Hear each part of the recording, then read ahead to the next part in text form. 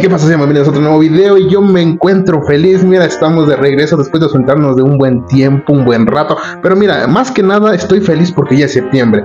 Ya se siente el mes patrio. Se siente esa energía. Vas por las calles, vas a encontrar los puestos ambulantes. Vas a encontrar de estos puestos, güey, de los que tienen banderas, que tienen silbatos, tienen cornetas, que tienen aguacates para pegar en el retrovisor, que tienen banderitas, que tienen mega banderas para colgarlas en tu casa. No, no, no, ya se siente el ambiente que es septiembre, mes patrio, mes mexicano. Yo creo que el gobierno ya debería denominar estos puestos como patrimonio cultural de la humanidad. Es que en serio los encuentras por todos lados y nada más deja que pase el 15, 16 y el 17 ya están transformados con accesorios para Día de Muertos y que si la araña, que si la telaraña, que si la bruja, que si la calaca. No, no, no, estos cracks tienen de todo. Pero bueno, prepara el omeprazol, prepara el alcacerse porque se vienen que si los taquitos, que si el pozole, que si los tacos dorados, que el tequila, que la cerveza. Pero todo con medida. Pero eso no es lo de hoy. Lo de hoy, pues bueno, fiestas patrias, jijiji, jajaja, jojojo, que jijiji, que jejeje. Pero mira, aquí te traigo algo más importante. Sí, no todo es color de rosa, o al menos como lo pintan algunos. Es más seguro México que Estados Unidos. Y no hay ningún problema para viajar por México seguridad. Pero eso además lo saben los ciudadanos.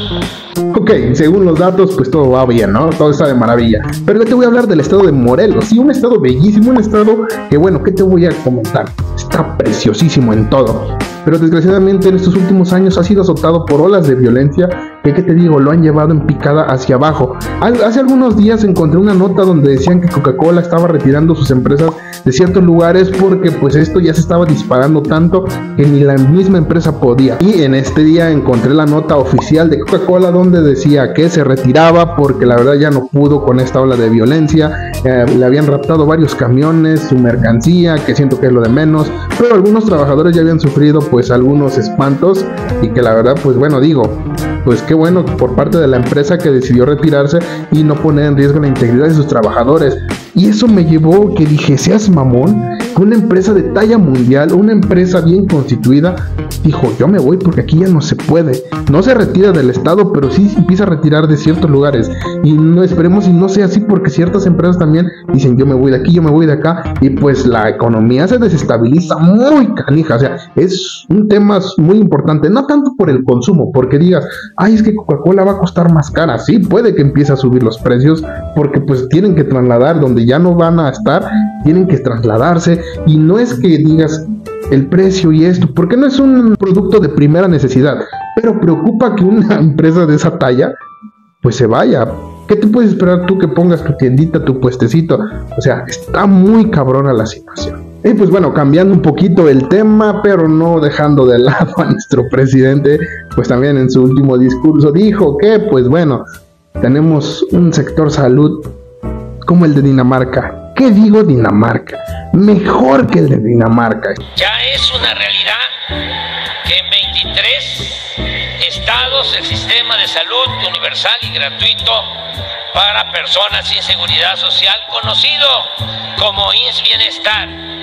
Este sistema de salud pública ya es más eficaz en el mundo. Dije que iba a ser el mejor, que iba a ser como en Dinamarca. No, no es como en Dinamarca, es mejor que en Dinamarca. O sea, yo me pregunto, ¿en verdad hay personas que piensan que sí tenemos este sistema de salud muy chingón, muy mejorado? O sea, yo me pregunto, si vas con las personas y les preguntas si el IMSS del bienestar está funcionando, o sea, ya un 5 estrellas, ya le ponemos 10 estrellas, ¿en verdad? Wow, o sea, me sorprende y digo, me preocupa, es preocupante que haya personas que piensen de esa manera. Pero me preocupa pensar que hay una persona que tiene todo el poder de una nación y estar haciendo todo este tipo de cosas. Vaya que tienen algo de similitud estos dos presidentes. En homenaje a ustedes, en agradecimiento a ustedes, voy a decretar el adelanto de la Navidad para el primero de octubre. Ahora sale este cabrón con que la Navidad del primero de octubre. Vaya que en verdad estamos jodidos, raza, está valiendo madre el país, está valiendo madre el mundo. Y pues bueno, estas fueron las notas de septiembre. Parece que septiembre ya nos va a meter 15 días en un puñetazo. ¿Qué digo un puñetazo?